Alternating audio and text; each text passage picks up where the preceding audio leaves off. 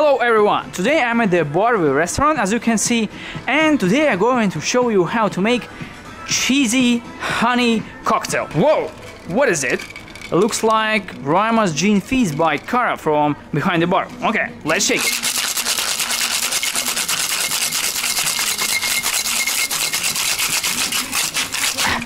Oh, I think it's enough for me. Guys, who's next? And now we can make our cheesy honey cocktail. And first of all, we need a glass, for sure. This one will be good.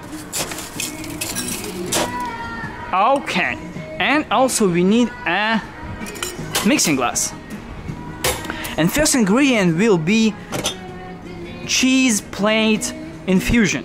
To make this cheese plate infusion, you need to melt cheddar, then mix it with uh, whiskey. In our case, it's Scotch whiskey, uh, and also some raisins, some dried grapes, you know, and uh, keep it for a few days and then filter. So uh, the full recipe you can actually find on my Patreon channel. The link to this site in the description. So welcome.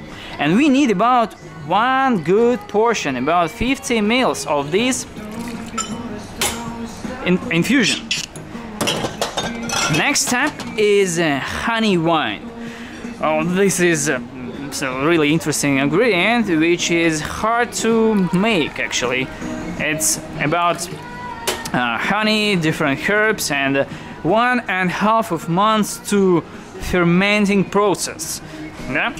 Okay. So we mix it half-half, 50-50 and let's stir it with ice. Nice.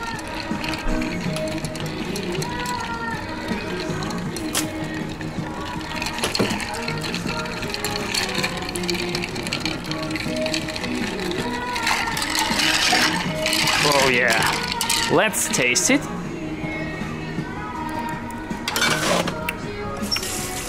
Mmm. And pour right into our glass.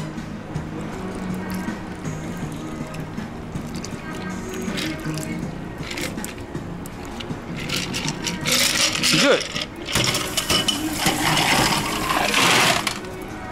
And for garnish, I'd like to use a shiitake mushroom. Just one little dried shiitake here. And this is it. Ladies and gentlemen, this is our honey cheese cocktail with a little shiitake. And let's try it, okay?